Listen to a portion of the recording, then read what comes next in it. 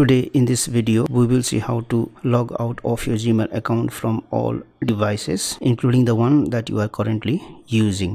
For that one open Gmail application tap on the profile icon at the top select the option manage your Google account swipe to the left select security and down here you will see the devices where you have logged in your Gmail account select the option manage devices.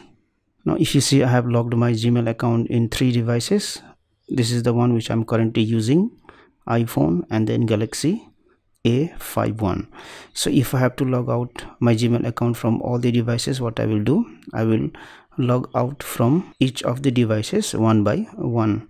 So I will tap on the three dotted icons here select sign out sign out okay then again I will tap on this iPhone. Sign out. Sign out. Okay. And now this is the last device where the Gmail account is locked. And this is the device which I am using right now. So if I have to log out my Gmail account from this device then there are two cases. If you have logged into the Gmail account by using web browser such as Chrome then open it and then open your gmail account. Tap on this menu option here. Tap on the gmail account and then select sign out. But if you have logged into the gmail account by using gmail app then the only option to log out of the gmail app is to remove the gmail account from the device. For that one open gmail application. Tap on the profile icon.